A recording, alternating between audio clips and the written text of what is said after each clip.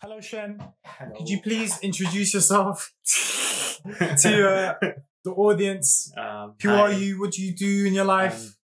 I'm, I'm Shen Yik Chua, and I'm a electrical and electronic engineering student in Okay. University of Southampton. okay. I'm now an embedded software intern, Hmm. Anything else? and maybe I'm from Malaysia. Yeah, you're definitely from Malaysia, Yeah. that's for sure. How long have you been living in Malaysia? And why the Uh, f- are you in Cambridge now? right. So I've been in Malaysia from the day I was born. Day I was born. Two years ago. So he's a fresh off the boat. Yeah. Um, basically, my degree is a two plus two. So I did my first two years in Malaysia and then the last two years here. And after my third year, I was looking for an internship for summer, but then I got this offer for the entire year. So Mm. I just take it and here I am in Cambridge. And how is the situation in Malaysia with education? In Malaysia, it's uh basically if you take STEM subject, you are basically going into engineering. Yeah. I mean, it's not that uh focus on research, I would say. Okay. So basically, if you get the It's more for jobs. yeah, Get a yeah, job, go into yeah. industry. Okay. Yeah, yeah, that's right. That's why partially why I become an engineer. Okay. Yeah. Okay. Would you say there was um, any pressure from society, from your parents to Mm. become who you are? I was I wouldn't say no. Yeah. Okay. There's definitely something hinder, hin- hindering. Yeah, yeah. But my parents would like if I try like if I go and study like music or arts, I mean my parents wouldn't care. I- No, would they not? Yeah, You I, sure? I could be an accountant.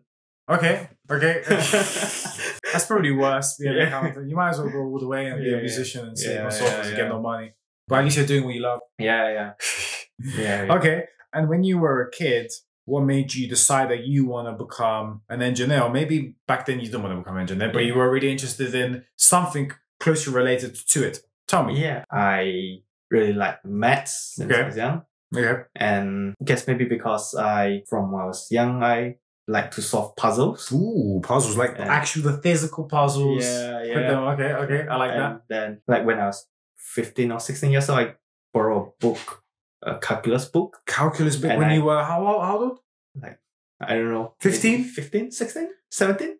Okay, okay, okay. Yeah. And, and I can't solve it. So I got puzzled. Yeah, okay, so okay. I, I, I like the challenges. Okay, So that's why I choose to take maths. okay. And also I not good at languages and humanities stuff. So right. or like anything memorizing things. Yes, So yes, I'm yes, yes. You're 16. What age do you start worrying about university in Malaysia? I wonder because in the UK it's like Mm. 16. You get start getting Oh. poked. Like, by the way, you're doing A levels. You should probably pick something. I Uh, yeah. guess I start choosing when I after A levels. So because I'm still Oh. doing all the STEM subject in A levels, Okay. like physics, bio, eh, not bio, physics, chemistry, maths, and further maths. Okay. So I can basically go into any engineering Yeah. degree that one. Yeah. Probably anything in STEM. yeah, yeah, that's right. Okay. You picked Electrical and electronic engineering, triple E. Triple E. Triple E, serious subject that. Definitely a bit biased towards it. But tell me, why did you decide to do the best degree in the world? um, the first thing I chose is the university, which is University of Southampton yeah. in Malaysia, and then they are basically only offering mechanical, aeronautical, Or or triple E. Yeah. At that time, I was basically just choosing between mechanical or triple E, Okay. and I prefer triple E because I, like I said, I don't really like the memorizing things, and I thought Hmm. like mechanics has a lot like materials and Yeah, yeah, yeah. things like that that I have to do. So Okay. and also their ranking for triple E is higher. Okay. So And what is your impression of electrical engineering? Because I don't actually know what it was because I did maths, I did physics, I did computer science, but you know, I didn't do engineering. Mm. Why isn't electrical engineering just called, I don't know, physics with electricity? Right? Because in my mind, that's what it was. It was just electricity physics. Mm. How did you interpret electrical engineering uh, before you entered university and then after? So before, I think I have the same. Same, yeah. Yeah, yeah. Okay. It's basically just more electricity with physics. Yeah, yeah, But yeah. After university, I guess it's more. You see, the engineering, everything's uh, Yeah, yeah. assumptions. That's true. Just Assumptions. throw assumptions and round up numbers Yeah. and do more maths. Yeah, yeah. Actually, it's less physics and more maths. Yeah, as I definitely yeah, agree. yeah. I would say out of all the engineering subjects, I think like electric electrical has the most physics, but it Mhm. still doesn't have anywhere as much physics as people think Yeah, there is. I mean, it's good to understand the physics, which will Yeah. help your maths, but it's still a maths. That's yeah, yeah, yeah, yeah, very true. If you want to, I think the A level you choose if you want to do any engineering is definitely always maths and not physics. Because you can get away. You can get away with not, not knowing too much physics. You finished three years. Yes. What's the most, you know, what's the module that give you the most enjoyment out of life? When you actually didn't want to want to, you know, just shoot yourself in the foot because you hate your life because you don't have a social life. Tell me. uh, it's power electronics. Power electronics. Wow. tell me, tell me. Because, Yeah. you know, I'm going to tell you why power electronics Yeah. is so dead. Yeah. And you're going to try and change my mind. Yeah. Because I was doing power electronics and I was learning, I remember, about like star and delta connections, transformers, uh, that shit, yeah? And instead of learning that, half my module was spent learning about uh like mechanical stuff for some reason. Because Okay. there's then because then um DC and AC motors kicked in Yeah. and I just didn't like it. Um. And so how was your experience with that? Because most and it's most people in electrical engineering don't like power.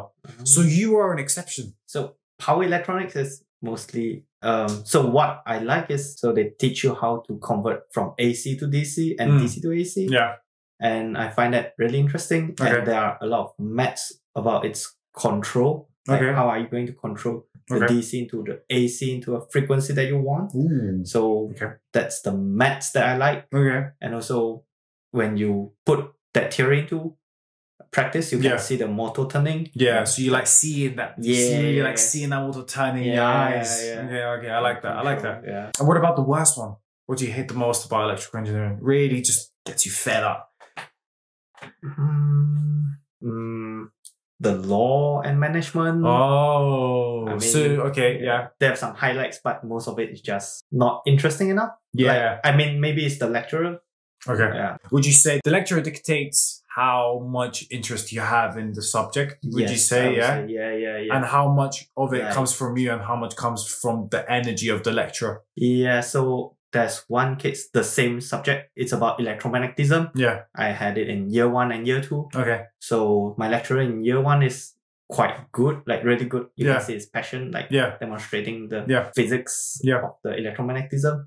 And so that's why I got kind of interested in that. Mm.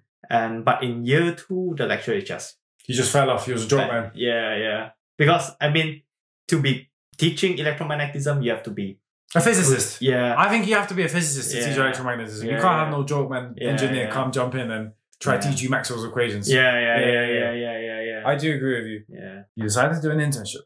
Hmm. Why did you decide to do an internship when you are doing the best degree in the world, going from one of the best universities? Why the hell would you do that when you could just wait another year and then make 40,000 grand? Maybe I'm a little bit different because I'm from another country. Ooh. So it is It's harder, would you say? yes, to find a job after graduating. So Okay. Why is that? is- Is that because your English is not as good or or maybe it's just racism? no, it's just racial, ratio. Okay, okay. Yeah, yeah. Okay, okay. I guess. Okay. Yeah. Okay. I don't know. uh, but yeah, I mean, it, it's, I mean, I was planning to find a summer internship anyway. So I just keep looking for jobs and apply any internships out there. And Mm. then just happened that CC offers a, yeah. I thought I applied for three months, but then the, I think Lucy told me it's a 12 month. And you were like, fuck it, yellow, let's go. Yeah. Calm. And what do you do at CC? Uh, I'm an embedded software engineer. What does that mean? How so does that relate to your degree? It's about coding on embedded platforms, which are usually microcontrollers. What's a microcontroller? So it's a small chip, Chip. chip, yeah, Okay. that is usually doing some simple things. Okay. Yeah. Like? like turning on LEDs. Okay. I, I like that. Yeah. Yeah. For example, what I'm doing right now is writing Python scripts Mhm. that runs on a Linux platform, Yeah. Which is also known as embedded because it's uh not a PC environment. yeah, yeah, yeah, yeah. So Okay. and that has to do with my degree because I learned like C Yeah. programming in my first year. So you started off with C. Yeah. And how does that feel? How do you feel like uh programmatically superior to the rest of the programmers out there who had to start off like peasants with Python? I don't think there's a difference. Oh, Yeah. You don't think there's a difference? I mean, We definitely know there's a difference between C and Python. I mean, like which one you start first, I don't think Okay. makes a huge difference. Okay. The thing is, if you know C really well, learning other languages is kind of easy. What's what's the plan? What's the plan, Shen, with your life? What's gonna happen after you finish? You know, you've got one year of uni. Are you Yeah. gonna go back to embedded? Do you really like embedded, or are you yeah, gonna? yeah. That, that's that's what's gonna because happen. yeah, I enjoy like coding, but then also putting it on some hardware, Okay. not just a laptop. I guess. Okay. Not hundred percent. hundred percent. But um, I was gonna say, I was, I'm just, I'm trying to Yeah, explore the idea. Like, Yeah. what other job roles would you maybe apply for? Would you Mm. go into the field of AI? Do you think you got If- that, or would you go more if hardware or more? If I don't have to worry about my like living costs or anything, yeah, I'll go and become a mathematician. mathematician. Yeah, just solving things. Really?